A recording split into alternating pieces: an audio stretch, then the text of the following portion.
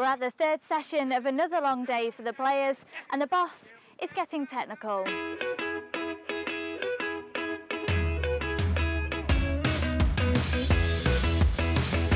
As you may have already seen in the game against Dundee, Aleksandar Kolarov has undergone a transformation of sorts this summer. The Serbian hardman has swapped his shirt number 13 for the number 11 and he told us why. 11. 11? Yeah. You're okay with that or are you going to stay with 13? If you say that, you can stay with 13. No, no, just ask. 13 is left back. Thir is not. 13 is not left back. So. So John, put your iPhone. when I signed, I asked for a number 11, and that moment wasn't available. I always liked number 11. Uh, my favorite player when I was a kid was uh, my former coach in national team, Sinisa Mihailovic. He was wearing always number 11 and in my foreign club in Lazio I was wearing number 11 national team I'm wearing number 11 so I, now I have a chance to, to, to take number 11 and just, just take it. Now, would you like one of the players here pick your wedding dress? Well, that's exactly what City fan Emily J did when she took part in our Ask series. She put this question to Matija Nastasic.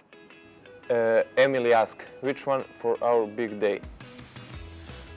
I think the left one is better. Matt, has anyone ever asked to marry you before? Ever? You had a marriage proposal before? No, no, no. He's only 21, oh. If you haven't already seen it, we've been keeping a video diary of our time here in Scotland and last night we changed things up a bit by letting Gael Clichy take control of the camera. James, one of the figure, the dog, always here, he's closing the door. Craig, that you met earlier. Massimo, the new physio, working on me and myself. So in about five minutes, uh, we're gonna close this room after a long day and pre-training session. Uh, little breath for everyone. Good night, and uh, we'll go again tomorrow. Head over to our YouTube channel to see the full video and also subscribe for more exclusive content.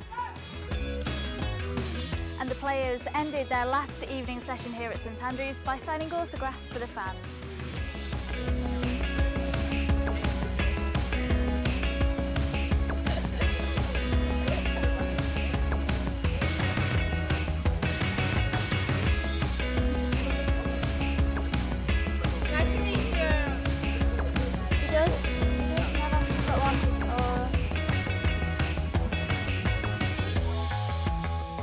Working on City TV can be a hazardous job at times. As we were filming the programme earlier, even Brian Kidd thought he'd get involved. Now, would you like one of the players here pick your wedding dress? Well, that's exactly what...